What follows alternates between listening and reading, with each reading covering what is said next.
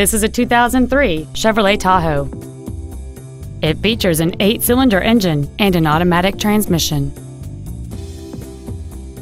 Features include air conditioning, cruise control, a keyless entry system, an MP3 CD changer, leather seats, tinted glass, fog lamps, OnStar, rear audio controls, and nine intelligently positioned speakers producing great sound quality throughout the cabin.